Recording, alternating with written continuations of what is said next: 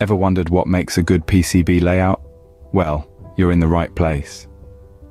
Today, we're delving into the world of electronics, exploring the art and science behind a successful printed circuit board, or PCB layout. We'll guide you through the top 10 guidelines that will ensure your PCB layout is efficient, effective, and error-free. From the placement of sensitive components to the integrity of your signals, these tips will provide invaluable insights for your electronics projects. Are you ready to learn the secrets behind a successful PCB layout? Let's dive in. Starting off with number 10. Keep sensitive components away from high noise circuits. In the electronics world, noise is an unwanted disturbance in an electrical signal. It's like the static you hear in a radio when the signal is weak, or the snow you see on an old television screen. This noise can have a profound impact on the performance of sensitive components. For instance, it can cause a sensor to misread signals, or a microcontroller to misinterpret data. Therefore, it's vital to strategically place these sensitive components away from high-noise circuits in your PCB layout. Think of it as social distancing for your components. The further away they are from the noise, the less likely they are to be affected by it. This simple step can drastically improve the performance and reliability of your PCB. Remember, a little distance can make a huge difference in your PCB design. Moving on to guideline number 9, use of ground planes. Ground planes are like the unsung heroes of a PCB layout. They play a crucial role in reducing noise, improving signal integrity, and providing a return path for currents. Imagine a city without roads. Just like roads direct traffic, ground planes direct electrical currents. They serve as a common reference point for all components, which is why their use is essential in every PCB design. Ground planes can be either on the top, bottom or middle layers of a PCB, depending on the design requirements. They help to reduce electromagnetic interference and enhance the overall performance of the circuit. So it's not just about placing components and connecting traces. A good PCB layout also considers the effective use of ground planes. Therefore always remember, a good ground plane is like a solid foundation for your PCB layout. Next up, guideline number 8. Prioritize power distribution. Let's dive into the heart of your PCB layout the power distribution. Imagine the power distribution as the circulatory system of your PCB, carrying vital energy to every component. Prioritizing the layout of this system is crucial to ensure that each component receives the power it requires to function optimally. So how do we do this? First, consider the power needs of your components. High-power components should be placed near the power source, minimizing the length of power delivery routes. This reduces the potential for power loss and increases efficiency. Secondly, power and ground planes should be adjacent, creating a low impedance path. This reduces noise and improves performance. Lastly, remember to use decoupling capacitors effectively. They are critical to the stability of your power supply, smoothing out voltage spikes and drops. Remember, power distribution is the lifeblood of your PCB, never overlook it. Coming in at number 7, use decoupling capacitors. In the world of electronics, power stability is paramount and that's where decoupling capacitors strut their stuff. These small but mighty components are like the unsung heroes of the PCB layout. Imagine a busy city, that's your circuit. Now, think of decoupling capacitors as shock absorbers in a car, smoothing out the bumps and jolts of the road. They do the same for your circuit, absorbing voltage spikes and reducing noise.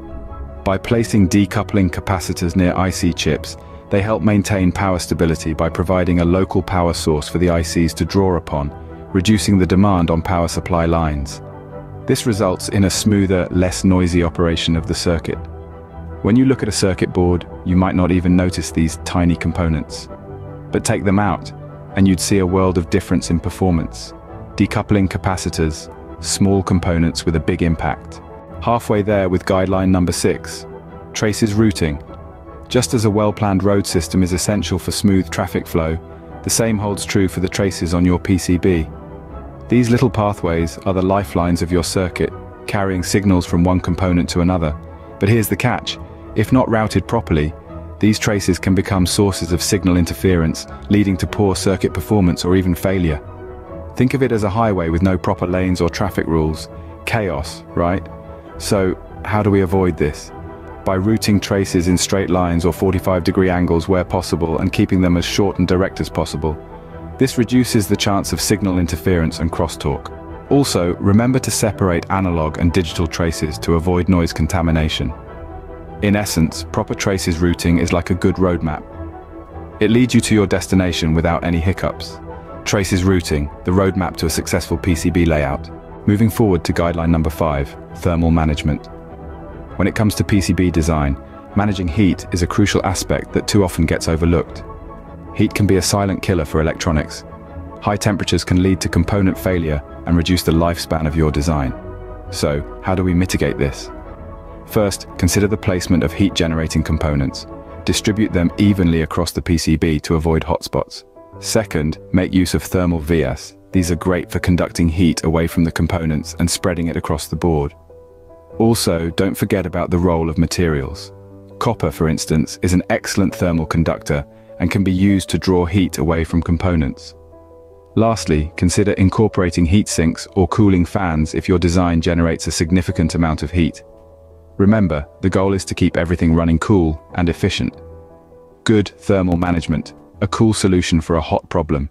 Scene script, coming in at number 4, component placement.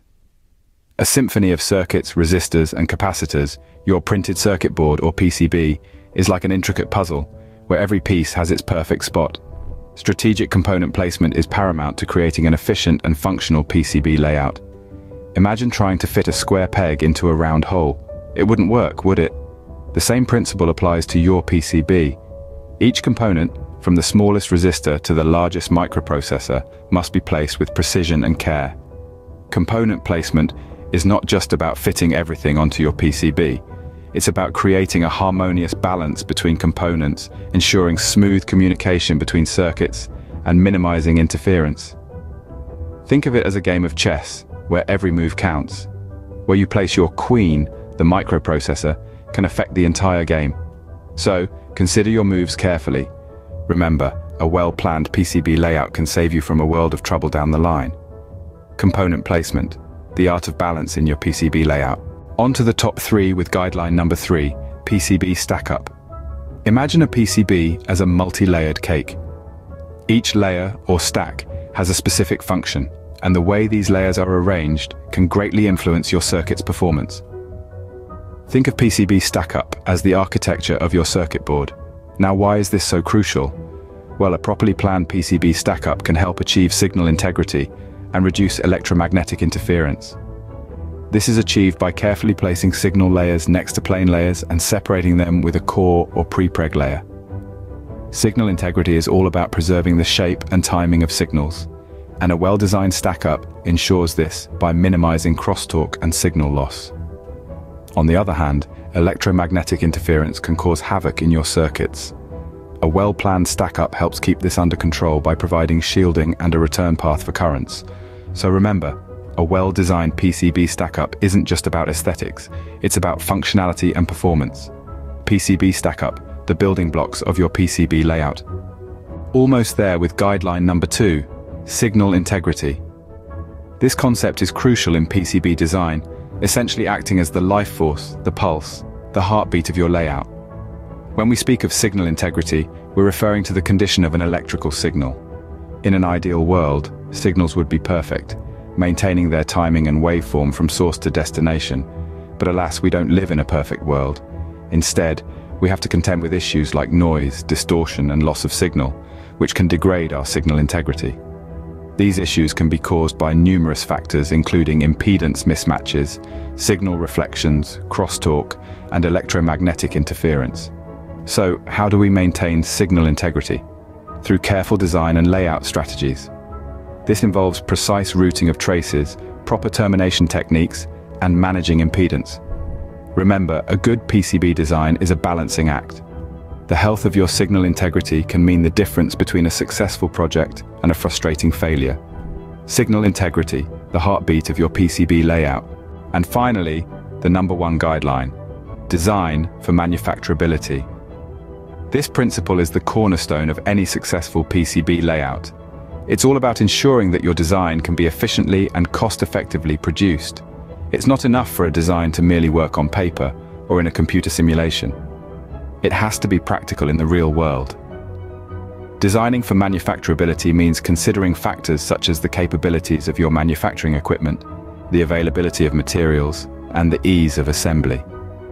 It requires you to think about how your design will be produced on a large scale and how it will be put together. It might mean simplifying your design or choosing standard components over custom ones. It's like playing a strategic game of chess, where you're always thinking several moves ahead. You're not just designing a circuit, you're designing a process. And that's what makes the difference between a good design and a great one. Design for manufacturability, the golden rule of PCB layout. And there you have it, the top 10 guidelines for a successful PCB layout. We've explored the importance of keeping sensitive components away from high-noise circuits, the use of ground planes, the prioritization of power distribution, the use of decoupling capacitors, traces routing, thermal management, component placement, PCB stack-up, signal integrity, and design for manufacturability. By following these guidelines, you're well on your way to creating a top-notch PCB layout. Thank you for watching and remember, knowledge is power.